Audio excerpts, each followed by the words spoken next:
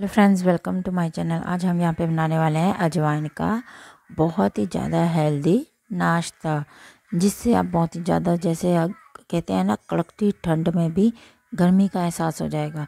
Means जो आपको ठंड बिल्कुल भी नहीं लगेगी, ऐसा नाश्ता मैं बनाने जा रही हूँ, जो बिल्कुल ही न्यू और ईजी रेसिपी है। आप इसको ज़रूर ट्राई करें। भी कमेंट बॉक्स में ज़रूर बताएँ कि आपको ये मेरी रेसिपी कैसी लगी। इसके लिए ये देखिए, अजवाइन लिया और साथ में मैंने लिया है धनिया। धनिया ये मैंने फ्रेश लिया है, इसको मैंने अच्छी तरह से वॉश किया है और इसको हम बारीक काट लेंगे। इसको हमने क्या करना है? बारीक काट लेना है बस। इतना ही हमने करना है। ये दो इंग्रेडिएंट्स हमारे हो चुके हैं। इसके अलावा आगे हम क्या लेंगे? चलिए नेक्स्ट देखते हैं। हम मैंने ये देखिए आटा गूंद लिया था और मैंने एक जैसे रोटी की तरह जो होता है ना, वो लिया है, धो लिया है। तो इसको अब हम रोटी की तरह ही बेल लेंगे। ये देखिए इस तरह से हम रोटी की तरह इसको बस हमने बेल लेना है। ये देखिए, बेल चुका है। इसके ऊपर अब हम लगाएँगे देसी घी। ये बहुत ही ज़्यादा हेल्दी है और सर्दी में इसका बहुत ही ज़्यादा बेनिफिट होता है। अगर आप सुबह सुबह ये खा लें तो आपको पूरा दिन ठंडने लगेगी। ये देखिए, इसके ऊपर मैंने चुटकी भर नमक डाल दिया है। ये देखिए, देसी घी लगाने के बाद चुटकी भर नमक डाला है। और उसके बाद हमने डाल देनी है इसमें हमारी क्या है जो अजवाइन ये भी मैंने थोड़ी सी वैसे हाफ़ स्पून से भी कम ली है। आप चाहे तो जैसे ठंड ज़्यादा है तो ज़्यादा भी ले सकते हैं, लेकिन मैंने कम ली है, आधे स्पून से भी कम ली है। और इसको ऐसे करने के बाद इसके ऊपर हमने अब रख लिया है हमारा धनिया जो कट किया हुआ है। ये देखिए, मैंने रफली चॉप कर लिया था इसको। तो इस तरह से मैंने अब धनिया इसमें डाल दिया है। ये देखिए, धनिया हमने इसको इसमें डाल देना है, यहाँ पे ऐसे स्प्रेड कर लिया। अब इसके ऊपर हम रखेंगे थोड़ा सा जो हमारा गूंधा हुआ आटा है, उसको रख देंगे ताकि जो हमारा जो पराठा बना रही हूँ ना, अजवाइन का मैं तो बहुत ज़्यादा टेस्टी है। तो इसके ऊपर हम जैसे अब मेरा जो धनिया है, वो बहुत ज़्यादा गीला है तो इसीलिए इसके ऊपर मैंने थोड़ा सा ये भी सूखा आटा भी स्प्रिंकल कर दिया है। अब इसको हम इस तरह से फोल्ड कर देंगे। ये देखिए, क्योंकि बीच में आटा इसलिए हम रखते हैं ताकि ये चिपक जाए, क्योंकि धनिया के कारण कई बार नहीं भी चिपकता। तो इस तरह से कहीं ये चिपक जाएगा और सूखा आटा मैंने इसलिए लगाया था ताकि जो गीलापन है जो हमारे बैटर में वो ख़त्म हो जाए। तो ये देखिए, अब इसको हमने सिर्फ़ और सिर्फ़ परांठे की तरह बेल लेना था। ये बहुत ही ईजी नाश्ता बन रहा है हमारा। ये देखिए, अब इसको हमने इस तरह से बेलना देखिए कितनी अच्छी लुक आई हुई है। तो अब इसको हमने क्या करना है? अपने तवे पर डालना है। ये देखिए, कितना लुकिंग दैट भी अच्छा लग रहा है।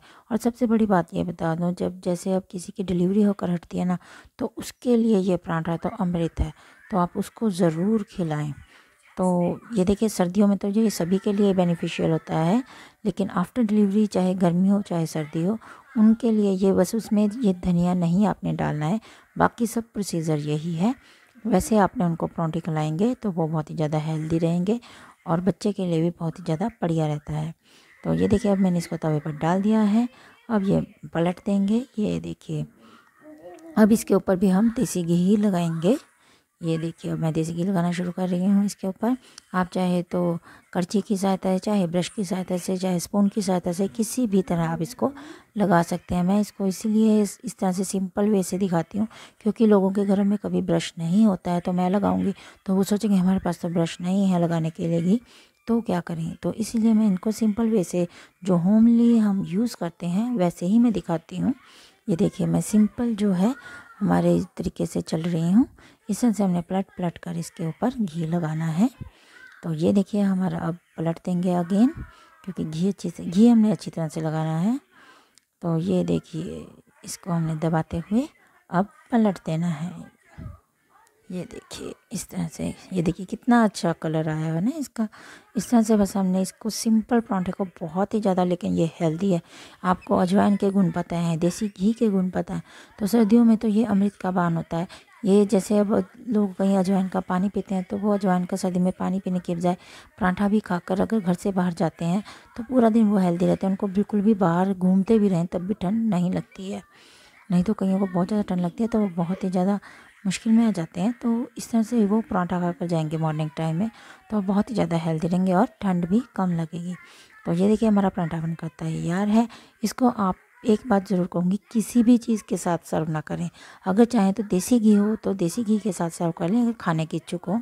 नहीं तो सिंपल ऐसे ही दूध या चाय के, वैसे दूध के साथ खाएँ तो बहुत ही ज़्यादा बेनिफिशियल है। लेकिन अगर आप दूध कहीं लोग पसंद नहीं खाते तो चाय के साथ भी खा सकते हैं। लेकिन इसको जैसे अचार, चटनी, इसके साथ बिल्कुल भी प्रयोग ना करें, क्योंकि यह हमारा हेल्दी नाश्ता है। इसको हेल्दी ही रहने दें, इसको चाहे तो आप ऐसे ही खा लें, चाहे इसको देसी घी के साथ खा लें, बस। ये देखिए, बीच में भी नज़र आ रहा है, कितना अच्छा लुक आ रहा है, ये देखिए, अजवाइन और धनिया के साथ। तो चलिए खा कर देखते हैं?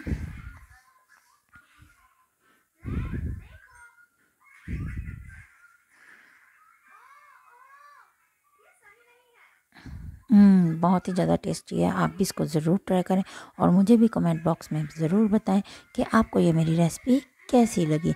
मेरी वीडियो को लाइक करें, शेयर करें और मेरे चैनल को सब्सक्राइब करें। Thank you very much.